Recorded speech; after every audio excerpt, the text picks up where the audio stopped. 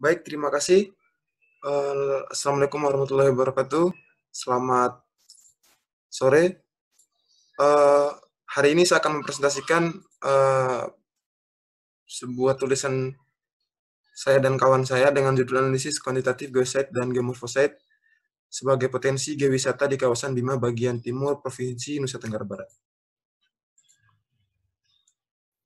Uh, ini sedikit CV saya, nama saya Zulfikri Ramadan.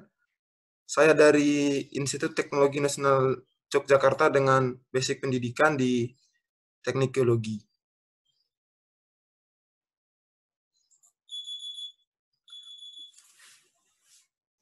Untuk presentasi kali ini ada beberapa outline yang akan saya bahas. Yang pertama, pendahuluan apa yang melatar belakangi saya untuk melakukan penelitian ini kemudian lokasi penelitian, dan ketiga metode dari penelitian saya, dan keempat hasil dan pembahasan, dan terakhir adalah kesimpulan.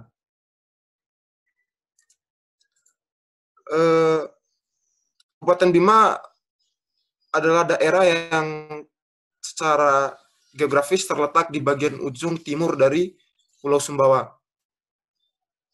Nah, Bima sendiri terletak dari bagian perjalanan subduksi berupa palung paralel atau outer arc ridge dan cekungan, serta cekungan busur magmatik memanjang ke arah timur sepanjang kurang lebih 2000 km dari Pulau Jawa, menurut Hamilton dan dalam Maulana tahun 2016.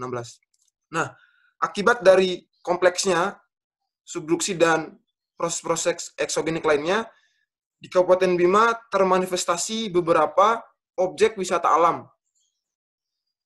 Ada Gunung Tambora, ada kolomnar join hasil dari proses subduksi, ada gunung api, dan lain-lain sebagainya. Seperti itu. Nah, kemudian untuk lokasi penelitian, lokasi penelitian kami berada di dua kecamatan berbeda di bagian timur dari Kabupaten Bima, yakni di Kecamatan Lambu yang terdiri dari tiga lokasi penelitian dan Kecamatan Wera satu lokasi penelitian seperti itu. Ini ada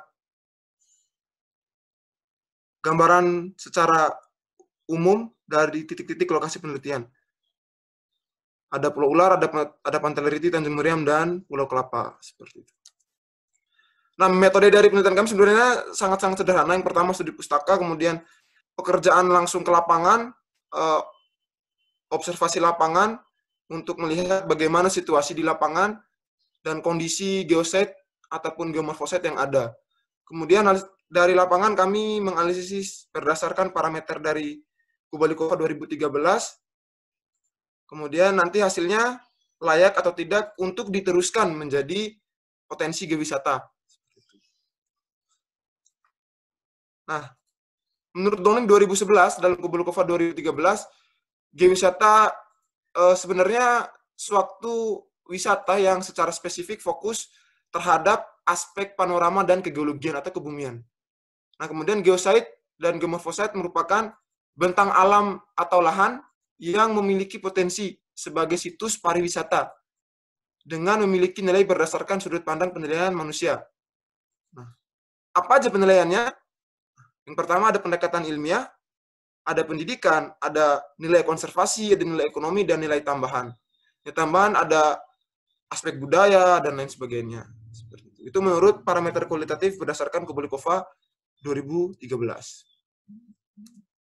Nah, hasil pembahasan dari uh, objek dari pengamatan langsung di lapangan dan hasil pengolahan secara kualitatif uh, ada empat geosite di daerah di daerah penelitian yang kami rasa memiliki potensi untuk dikembangkan lebih lanjut. Yang pertama ada Pulau Ular. Nah, secara administratif eh, lokasi ini berada di Desa Paik, Kecamatan Wera di Kabupaten Bima atau di bagian utara dari Kabupaten Bima. Lokasi ini memiliki nilai kuantitatif dengan nilai pendekatan ilmiah dan intrinsik sebesar 50%, nilai edukasi 50%, nilai ekonomi 50%, konservasi 70% dan nilai tambahan 40%. Nah, secara rata-rata atau secara keseluruhan, memiliki tingkat kelayakan sebesar 53% untuk dijadikan sebagai tempat geowisata. Kemudian apa sih daya tariknya dari lokasi ini?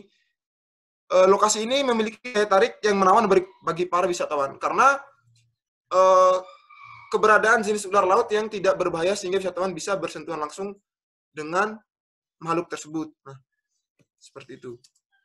Kemudian ada Pantai Lariti.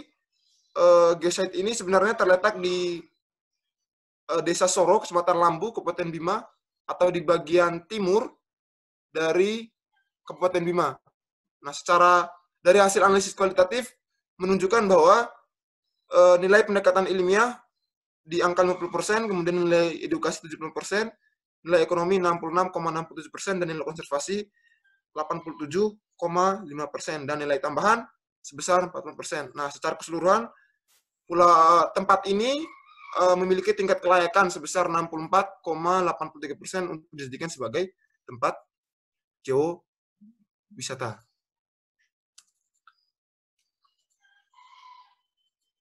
Uh, kemudian ada Tanjung Meriam. Uh, Geset ini sebenarnya terletak di uh, Desa Sumi di Kecamatan Lambu Kabupaten Bima.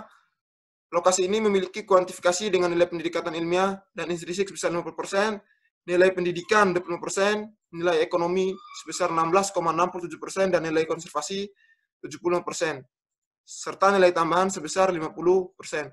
Secara keseluruhan, tempat ini memiliki tingkat kelayakan sebesar 43,33 persen untuk dijadikan sebagai lokasi geowisata. Kemudian ada Gardu Pandang, Pulau Kelapa. Ini sebenarnya secara geologi e, bisa dikatakan sistok atau secara geologi regionalnya termasuk dalam satuan batuan gunung api tua seperti itu. Secara administratif terletak di Desa Sumi, Kecamatan Lambu, Kabupaten Bima.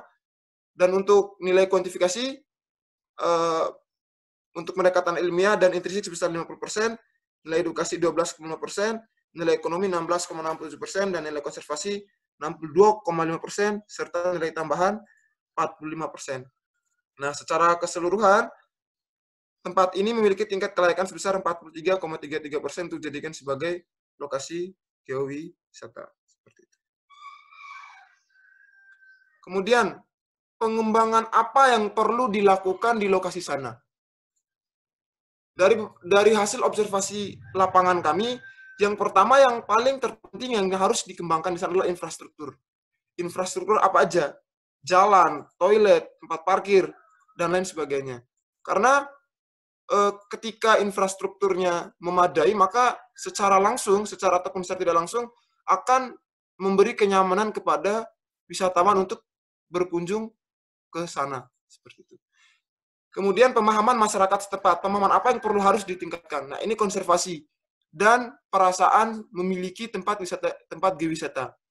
Jadi masyarakat sana masih sangat-sangat minim pengetahuan tentang uh, apa itu konservasi, apa itu uh, ilmu kebumian dan lain sebagainya. Jadi perlu uh, sinergi uh, dan juga perlu sinergitas antara pemerintah dengan uh, pokdaris, pokdaris ataupun kelompok-kelompok yang langsung terjun mengembangkan usaha yang mengembangkan wisata di sana. Seperti itu. Karena uh, sinergitas dari hulu ke hilir sangat-sangat penting dalam pengembangan wisata baik itu wisata kebumian maupun lainnya. Seperti itu. Kemudian kesimpulan uh, dari penjelasan saya tadi terdapat empat geosite atau kandidat geosite dan geomorfosite yang terletak di dua kecamatan berbeda, yakni Lambu dan Wera. Kemudian dari empat lokasi tersebut yang memenuhi kriteria sebagai situs wisata dengan nilai kuantifikasi berturut-turut adalah Pantai Lariti dengan angka 64,83 persen dan Pulau Ular 53 persen. Nah, untuk dua lokasi lainnya perlu dilakukan ekstra pengembangan yang lebih baik, baik dari segi infrastruktur maupun segi pendukung-pendukung lainnya yang mendukung keberlangsungan wisata tersebut. Seperti itu. Sekian terima kasih dari uh, sekian presentasi dari saya. Terima kasih dan kalian buat dia. Assalamualaikum warahmatullahi wabarakatuh. Selamat sore.